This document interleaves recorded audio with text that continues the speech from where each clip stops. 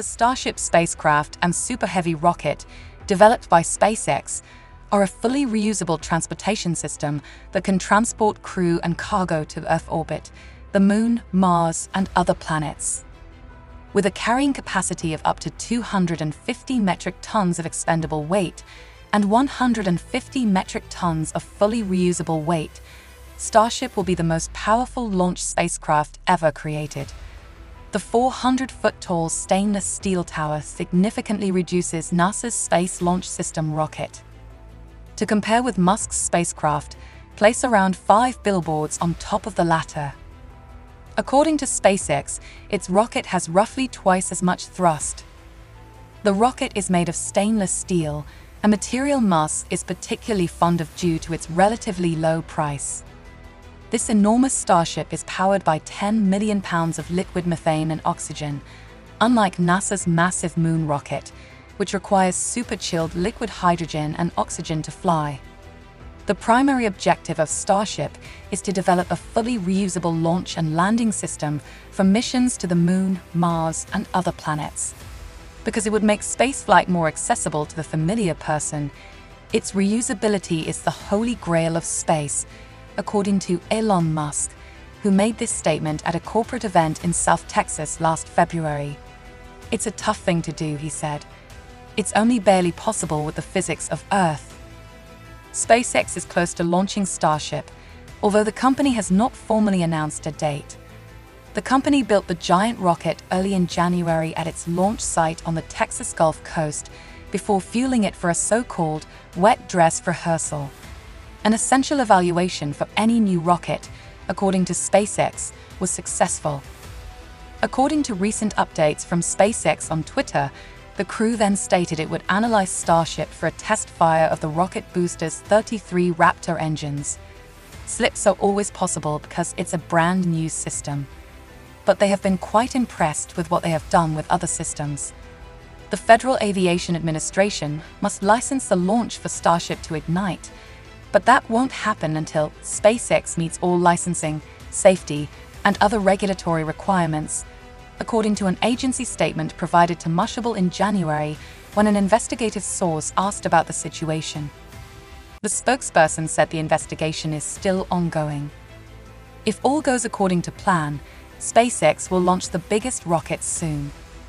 The Starship rocket, which measures almost 400 feet tall, is intended to transport NASA humans to the moon. However, Elon Musk, the CEO of SpaceX, has even greater ambitions for the company, wanting to use it to settle on Mars with people. The human spaceflight capabilities of Starship are currently receiving a lot of concern. But the rocket may also fundamentally alter our understanding of the planets and moons that are close by. Ali Bramson, a planetary scientist at Purdue University, argues that a starship would change how we can do solar system exploration the study of planets will simply explode. Scientists are discussing the possibility of sending missions to explore Neptune and its largest moon in the outer solar system. They also consider retrieving space rock from Earth's moon and Mars. Additionally, they are developing innovative methods to protect Earth from the potential threat of asteroids if these projects could improve our ability to safeguard our planet from cosmic dangers. Starship built at a Texas site dubbed Starbase, consists of a giant spaceship on top of a large booster. Both can land back on Earth to be reused, reducing costs. The entire vehicle can lift 100 metric tons of cargo and people into space on regular low-cost missions. Starship is, like, wow, says James Head, a planetary scientist from Brown University. Musk spoke about the project's scientific potential in mid-November during a publicly accessible online meeting about Starship organized by the U.S. National Academies of Sciences, Engineering, and Medicine. He stated that we must work hard to evolve into a multi-planet species as soon as possible. Then, according to Musk, the Starship could take off with a lot of scientific instrumentation, far more than is currently possible. The fact that Starship is made to be massive and inexpensive to launch is at the core of many of these designs. With launch costs in the tens or hundreds of millions of dollars, organizations like NASA and ESA must carefully select a small number of missions to support. However, Starship's affordability may allow for many more. Andrew Westphal, a lecturer in physics at the University of California, Berkeley stated, the low cost of access has the potential to change the game for science research, with flights perhaps costing as little as $2 million for each launch. A spacecraft called Arcanum, designed by the CONEX, Conceptual Exploration Research, worldwide collaboration of scientists, would utilize Starship's heavy lifting capabilities to investigate Neptune and its largest moon, Triton. But unfortunately, we still don't know about Neptune, even though NASA's Voyager 2 spacecraft only flew by it once in 1989. As a result, no one is genuinely considering what Starship might be able to do, according to James McKevitt, a researcher at the University of Vienna and the co-founder of CONEX. That's what Arcanum is made to show off, said the man. The spacecraft would be four times heavier, weighing approximately 21 metric tons, than the most serious deep space probe to date, the NASA and ESA Cassini Huygens mission, which studied Saturn from 2004 to 2017. NASA has suggested that a proposed super telescope called LUVOIR, designed to image Earth-like planets around other stars, could launch on Starship. At the same time, Musk has said SpaceX is already working on an interesting project, which is to have a massive telescope, taking a lens intended for a ground-based telescope and creating a space-based telescope with it. Some scientists plan on using Starship to get ready for space travel.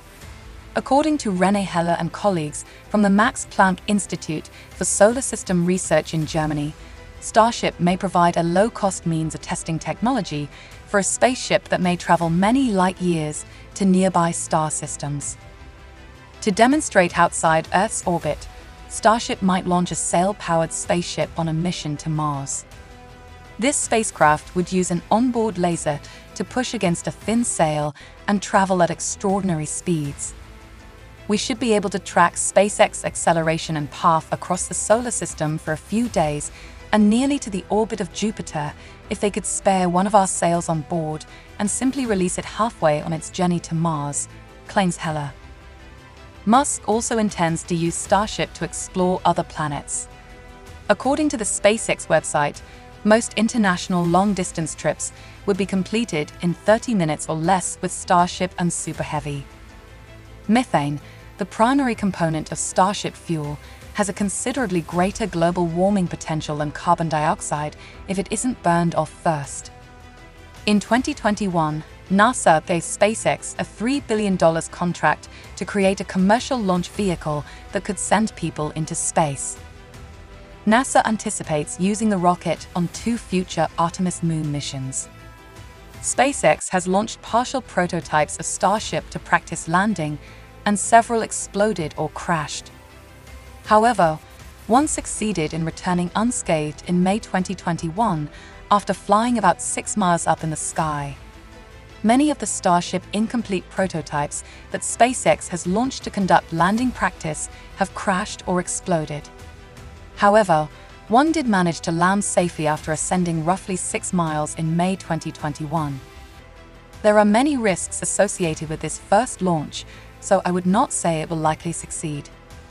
With missions to the Moon and Mars on the horizon and plenty of research potential, Musk has speculated that SpaceX could fly as many as a dozen test flights of the Starship in 2022. Once Starship starts flying, the development will be speedy, predicts Margarita Marinova, a former senior Mars development engineer at SpaceX. We would love your thoughts on the biggest SpaceX Starship rocket. Tell us in the comments section.